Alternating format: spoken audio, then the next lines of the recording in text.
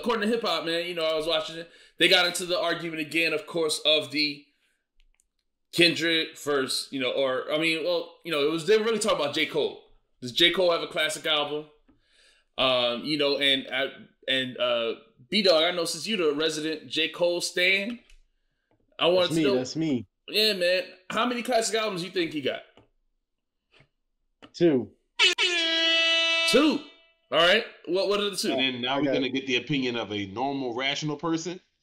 Two. And if we count Friday Night Lights, three. So, Two and oh, wait, so three. He got three. You saying? if you count Friday Night Lights, it's three.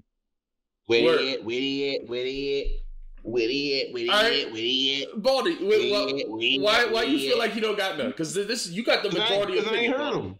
Cause I ain't heard them. That's why. Where they at? So what he got to do? about, man. What he got to do to have uh for you to have a classic album? Because I mean, what is it that Um, he's doing so, that's not Let me. good enough? Nah, look. I I never. I have his albums have not stood the test of time for me. Again, you know, I don't. You know, and I don't think that they're those those classic bodies of work with just non-ending bangers. Um, I, I can't. I, don't know what to say, man. I never, I've never been overly impressed with J. Cole's lyrical ability uh, until recently, really. Mhm. Um, and I haven't. None of his albums held me to that to that extent. Um, that I would deem it a classic. I just So, uh, Leroy, I, I post the, the, the link in the chat. Hopefully you, you got it. Uh, like I said, once you end the Discord, I just want you got to click on one of the voice channels, and then when you're in the voice channel, I can pull you into the show. All right. Uh, but B, I know because one of the videos we had, you went back and listened to Friday Night Lights, and you were like, "I listened to it it the first time in a long time, and it was dope." So, isn't Yeah. that what a classic is? You go back to it, and it's it's still great. yeah. That's, if that's what you wanted to to to say was a classic, um, okay. I, I have to give that some more spins. I mean, it's not like yes, I went back listened to it that time, and then I still haven't continued to go back to it. Uh, but I did for a little bit afterwards, so maybe you know. Again, I, I think that hits y'all different than it hits me. It's just I don't know what it is. When the time when it came out, when he came out, it it did not grab me like that. Yeah, Leroy, you already are you part of the Discord. So all you got to do is open your Discord, man. If you open your Discord app, if you have the app on, on your phone, or if you have it, uh, you could also go through the you know web. But if you if you get uh you don't know uh how to get to your Discord app, man, I, then I don't know. I don't know how to help. We'll ske- yeah, man. We can look. We can schedule it Have- when this. yeah, is, we'll have uh, to get you on another released. time. When you put this on Spotify or whatever, I don't like Spotify, so I don't use them. But when you put this on whatever thing is gonna be at, then we'll make sure to we'll, we'll make sure that all of these subs. We got so many subs to broadcast you out to. Whole three hundred and sixty-five subs, and so incredible That's growth enough. here. This is how you're gonna build your audience, of course, because where don't don't. this is what do we- ground zero. Yeah, yeah. What yeah. did we end last year with? All right. So, uh, but okay. numbers. We gotta put a graph out for the people. No, because I want I want to talk about this though. Because B, you're saying that the album's still dope years later. Isn't that what? All right, so you're saying that because you don't want to go back to it, does for something to be classic, does that mean you have to you personally have to want to go back to it? Because like I listen to a lot of albums in hip hop that are considered classic. Right? There's a ton of Mhm. music. Right? We just talked about Mhm. 50 years of hip hop. We we Mhm. you know when we started this podcast, we were going through old albums, what's classic, what's not. You know, I, I don't I don't really- haven't felt the need to go back and listen to the all of LL's radio, but when we listened to it, I thought it was a good album. Right? We all did, didn't we? And we were like, Um, this is classic. Yes. So I think that's two different things. So one one thing is these early albums are gonna get this this status because they they broke ground on things. Okay, I don't know what that is for J Cole. So you telling me that there was some brown groundbreaking stuff that I never heard before? I'm gonna tell you there wasn't. Okay. Um, That's fair. If That's you're gonna tell me that he had these big hits, that's that stick with me and I want to hear them over and over. I mean, we they do have levels to things. So you could say some things are like super classics, like of course, like I don't know, like the list, the chronic or something like that, right? Something I listen to from time to time, every year. Um, some of my other personal favorite albums, like The Listening, which basically doesn't go a month probably without getting some burn in my house, mm-hmm. like on my car. Like these type of things like that. It's it's not that. Now that might be that for y'all. There's other lower level classics that I listen to uh, every year, uh, uh, or you know, every few months, like Enta da Stage, um, you know, albums like that that I personally love, that I listen to consistently. Um, this ain't none of those. So I'm not sure where it's, you know, at the time it was released, it was not like that for me. It's not like that for me now. It hasn't been since then. For y'all, it probably was.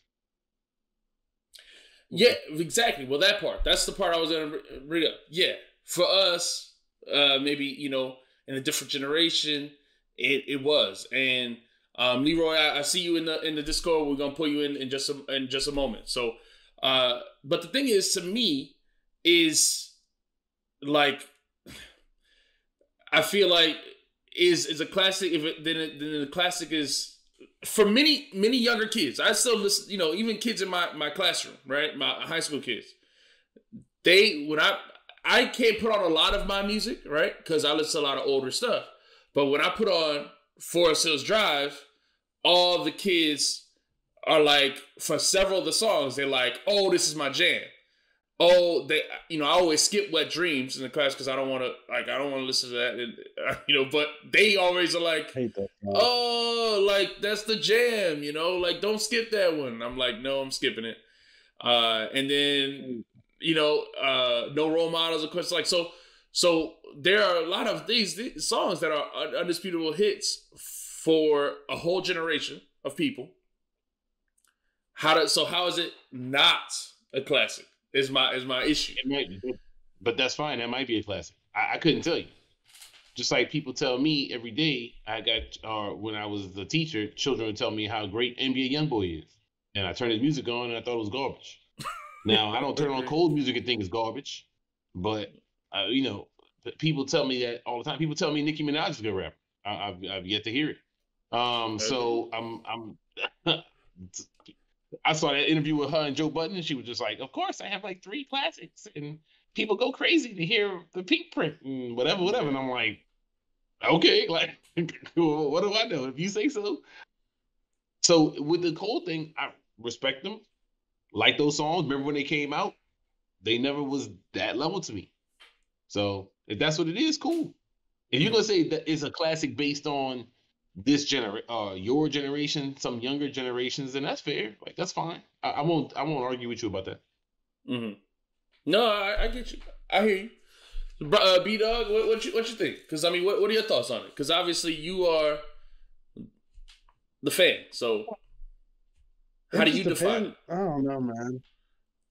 Because I think classics are. I think it's easy to tell what's a classic, honestly. And I don't know if people give Jake. I feel like I'm too close to the situation to see if J. Cole's actually getting those flowers because I always am going to give them those flowers. So I feel like 2014 Forest Hills Drive, I feel like is a classic. I feel like everyone, I feel like a lot of people recognize it as a classic. I don't get that. I never did. I gotta look at the track list again, man. I don't. That album is just not it to me. So this is this is my thing. This is why it's so funny to me because like I can say that we said this about even like even songs like even albums like uh Get Rich or Die Trying is an album that I, I everyone says is one of the greatest albums of all time. If I look at the track list, it's not that to me, right? It's not that. No, I think I think too many people see that this is my thing with some of these albums too. What is a big hit don't mean it's a classic. So I think people be like, "Oh man, in the club was on on or you heard that that 50 album everywhere." You did. Mm-hmm. But you ain't mm-hmm. every song on that album and when you did, I thought certain people was lame for playing certain songs on that album. Like yeah. that song is lame. And then a lot of it has gotten worse over time. Like it sounds worse than it did when it even came out to me. Yeah. Like I, I definitely don't ever want to hear uh patiently waiting. Like, you know, these are the type of songs people was hyped about. Um, I like so I like a lot of songs on this album, man, but I I don't know what song on here is something that's like I'm gonna turn this song on and it's not gonna I, I have to listen to it over and over and it'll never come off my playlist. Yeah. So like, you really like that about what? Like GOMD? Fire Squad? GOMD is a great song. Yeah. Uh, um, let me pull up the track list. I like. I, no I mean, role models is great. No it's role played models. out now, but that was a I never. Okay, all right. I never I loved love no role models. Wet Dreams. I Ah, hate that song. I could never listen to that ever again. Love Yours. Um, I'm gonna say apparently this. it's cool. I don't hate apparently. I don't like, like this apparently. album as much And I don't ever wanna else hear that. Say it again. So I'm say trying it to- I again, like uh, Apparently. Bryson. I s- I don't like this album as much as everyone else does, but the songs that I don't like, everyone else loves. Mm. So I'm like, fuck. If I like everything else and then y'all like the other stuff, I guess it has to be a classic because then there's Okay. culture. That's how I feel about it. But I hate all of these feel good songs. I don't care about Wet Dreams, Love Yours. I hate those songs personally. I don't ever want to hear them. But Agreed. a lot of Agreed. people love that song.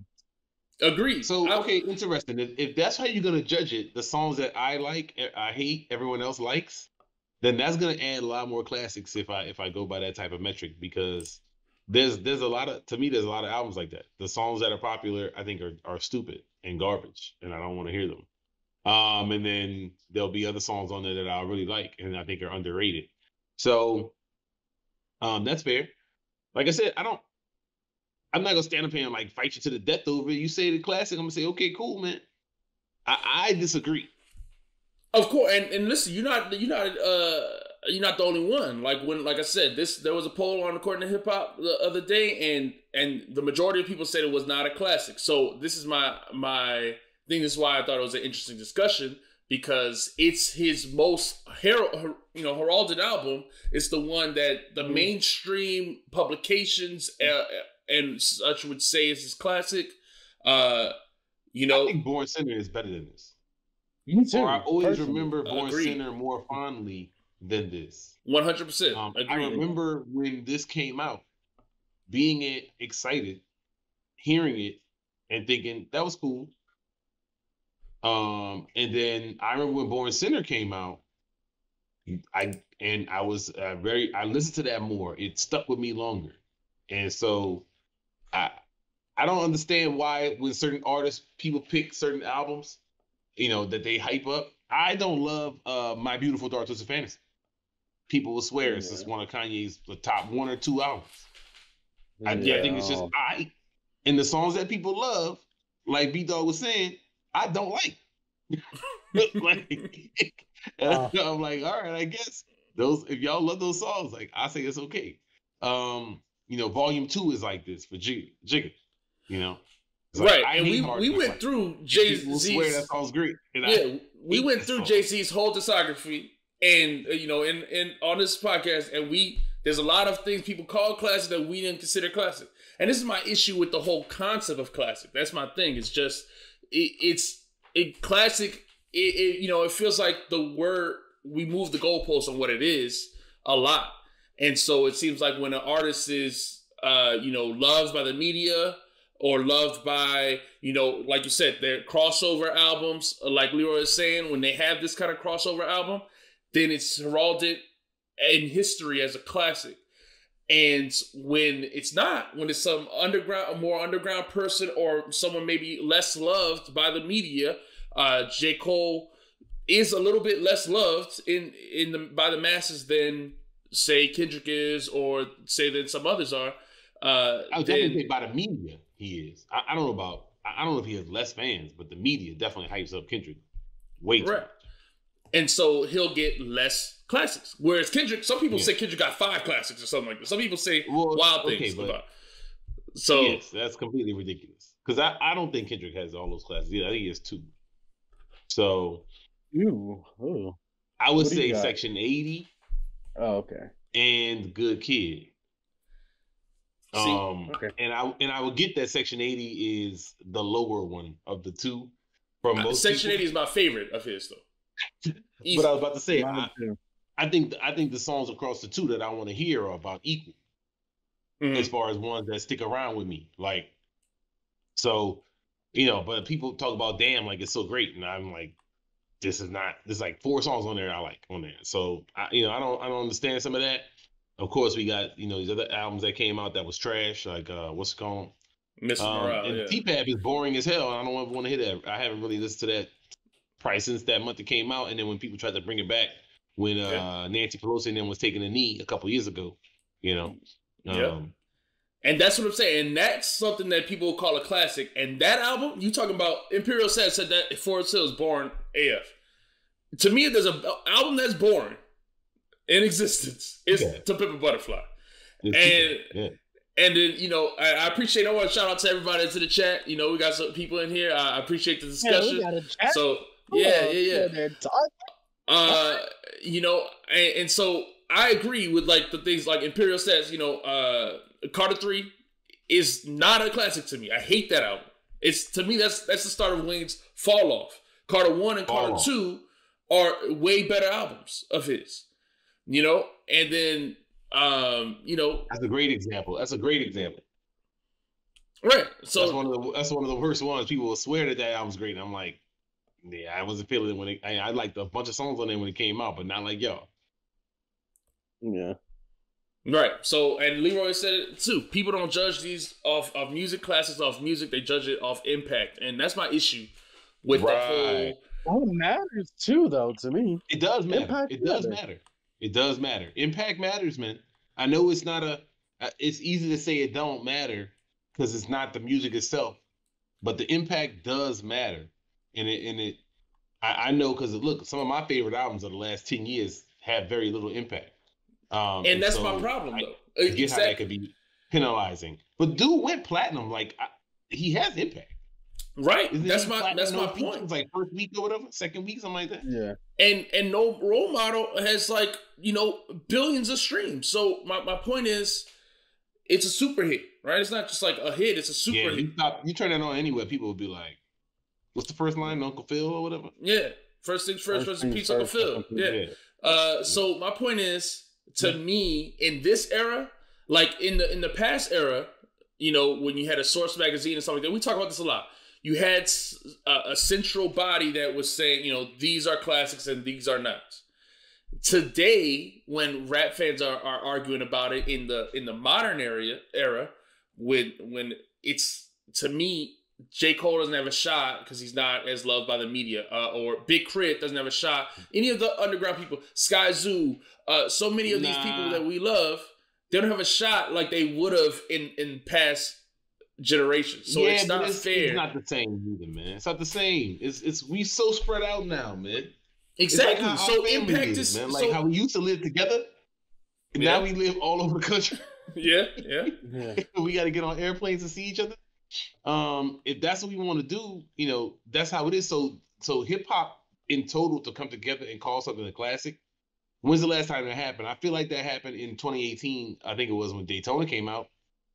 Um, Yeah. since then, I'm trying to think of which one would it would it be. I think people kind of got there for um when Alfredo came out. I was about to say Alfredo was that. I would say I would say You people people did that with uh, the Forever Story. Shit, that's the last album that I feel like was universally loved. Uh, okay, It did I get a mean, lot it was. love, I didn't. I didn't think I felt that same thing, but we are more dispersed now. So I don't think it's that many times though where we had the whole. Like when the source came out, the lanes was just so much. When the source was a thing, the lanes were so many, so less, so much, so much Yeah. less lanes. So Mhm. yeah, of course, it's easy to get a consensus on. Yo, this is the dope. Like, Enta da Stage wouldn't be a classic now. Um, Right. impact wise because people would be like nobody would hear that basically Right. um and that's my so problem. i mean that's a thing well but j cole has impact so i don't think that that's the issue But we start when we started the discussion, you said J. Cole got zero. Bryce said he got three. And that's my point, is that the the the consensus is so far apart now. Uh, I mean, and like Brian said in these the chat. songs are whack like we talked about these songs like these songs are whack i don't want to hear wet dreams um But they're not Love like to everybody. There's a lot of people who love Um, that. Let them love it. Like I said, so my, my uh, thing about the album not being a classic is these songs are whack. Like three or four of these songs, I don't ever want to hear again. I never liked them. It, you know, it's not like I changed my opinion as it's gotten older. Yeah, yeah. I don't think really any of these holds up poorly. I think we Um, we all like- agree like with I that. liked it before they got lamer. So, and y'all agree with those. That's why I would say album's not a classic. To me, you get to multiple skips, and it's just not. You can't say that. and But I, the impact will be huge. That's like like so we say with Get Rich or Die Trying. The impact is ginormous. that's It hit like a supernova. But Right. half the songs on there are whack. and that's uh well i mean the the the the uh definition i always use was the you know no skips or you know no more than one or two skips to me that's the definition i use but to me that's not the definition that's being used anymore. Uh but uh we've been talking about this for a minute. We gotta pull uh leroy in. He's been waiting on us. So uh let me uh leroy i'm pulling you in now. And